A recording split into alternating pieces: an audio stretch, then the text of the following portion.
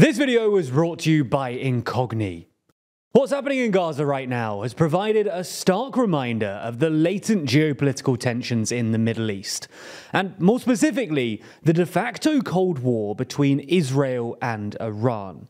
On Thursday, Israel bombed Damascus and Aleppo airports on the day that the Iranian foreign minister was due to arrive in Syria and Iran will be at least considering getting involved in Gaza, given the dramatic scale of the Israeli response against Iran's ally, Hamas.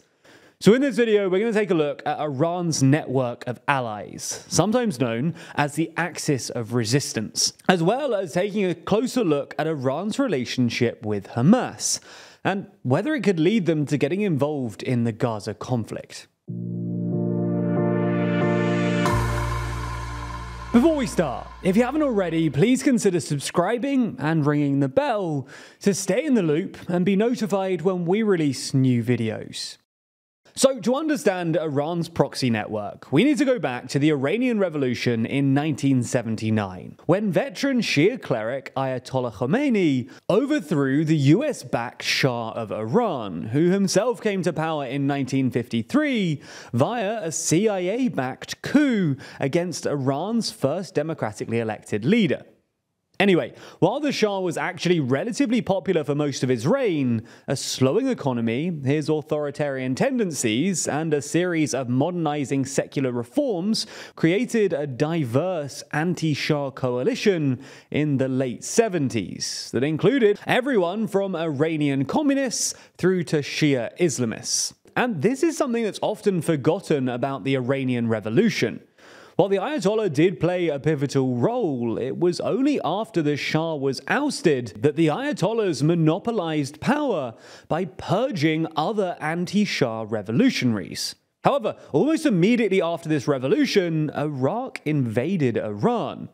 Iraq's leader, Saddam Hussein, was trying to take advantage of this political chaos in Iran and deter Iraq's Shia majority from emulating the Iranian Revolution. But things didn't quite go to plan. Despite receiving support from Saudi Arabia, the West, and the Soviet Union, Saddam was unable to defeat Iran. Even though the Ayatollahs won the war, though, the experience created an understandable paranoia in Iran's foreign policy establishment. So, in the 80s, they decided that while they couldn't match their enemies for conventional military power, they could keep themselves safe by using proxies. The first real Iranian proxy was Hezbollah in Lebanon, which grew out of the Lebanese Shia political movement in the 1970s. While the Sunni Shia divide is often exaggerated in Western media, it's largely true that the 1979 revolution provided an inspiration and political framework for other Shias across the Middle East. For context, until the latter half of the 20th century, many Shia Muslims basically just stayed out of politics, both for reasons to do with Shia doctrine and because they often found themselves living as minorities in Sunni polities. However, by the late 20th century, Shia Muslims started mobilizing for better political representation, including in Lebanon, where Shia Muslims were politically underrepresented compared to Lebanese Sunnis and Christians. In 1982, then, when Israel invaded Shia majority areas in southern Lebanon to purge the Palestinian Liberation Organization, Iran saw an opportunity. Days after Israel's invasion, Hezbollah was secretly created by a small group of pro Iran Shia clerics with the support of the Iranian Revolutionary Guard Corps. With Iranian training and funding, Hezbollah waged a constant and costly guerrilla war against Israel until Israel finally left Lebanon in 2000, before they went on to establish themselves as the de facto government in southern Lebanon and a major player in formal Lebanese politics. Today, in part thanks to hundreds of millions of dollars of Iranian funding, Hezbollah has a bigger military than most countries, with an estimated 50 50,000 troops and something like 100,000 missiles. Hezbollah have also helped to advance Iranian interests in Yemen, Syria, and Iraq. And this success even convinced Iran that proxies really were the way to go. Accordingly, when Iraq collapsed into chaos after the US led invasion in 2003, Iran reacted by supporting certain Shia militia groups, both because Iran saw an opportunity to expand its sphere of influence and because Iran was worried that political instability in Iraq could spill over into Iran or be exploited by its regional ally, Saudi Arabia. Today, more than a dozen Iraqi political parties and a number of paramilitary groups have ties to Iran, and Iran has basically infiltrated most of Iraq's political class. Even the US reluctantly recognizes this fact. A report published by the US Army in 2018 admitted that at the time of the report's completion, an emboldened and expansionist Iran appears to be the only victor out of the Iraq War.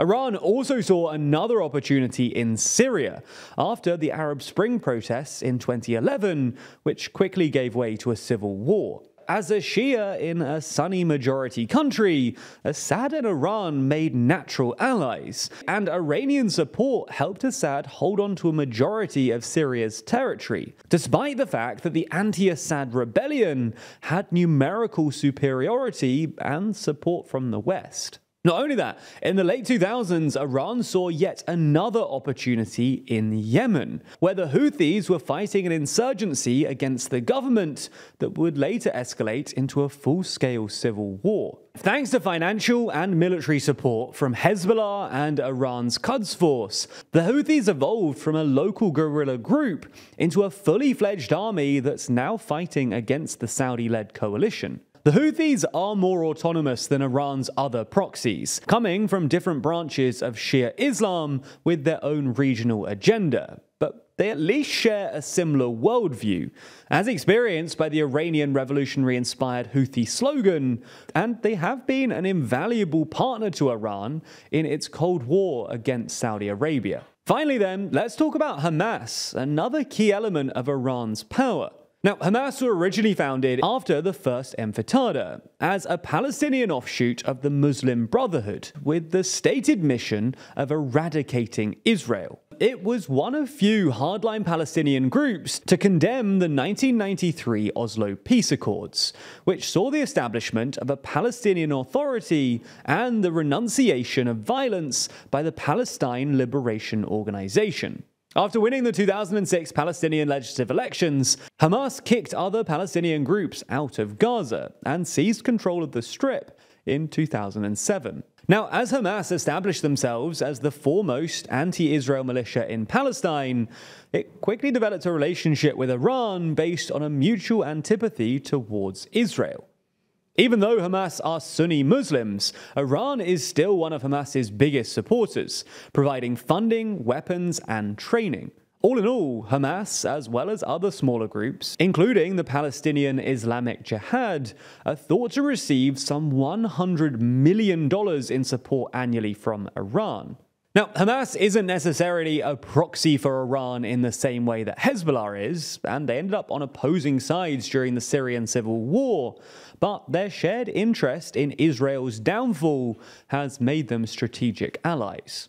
Unfortunately for Hamas, however, Iran is unlikely to get involved in the current conflict, despite this common ground. And that's for three reasons. First, Hamas is more of a convenient strategic partner than an ally. Second, it would almost definitely provoke a massive response from the US. But third, Iranian intervention would turn the war in Gaza into a war against not just Palestine, but also Iran, which could, paradoxically, undermine Palestine and Hamas's cause amongst other Arab states, which don't like Israel also don't like Iran. A couple of years ago, I was the victim of identity theft, and I only found out when I got a court letter saying that I owed money to a broadband company at an address I'd never lived at. And I'm not alone here either, with victims of data breaches rising by 41.5% in 2022.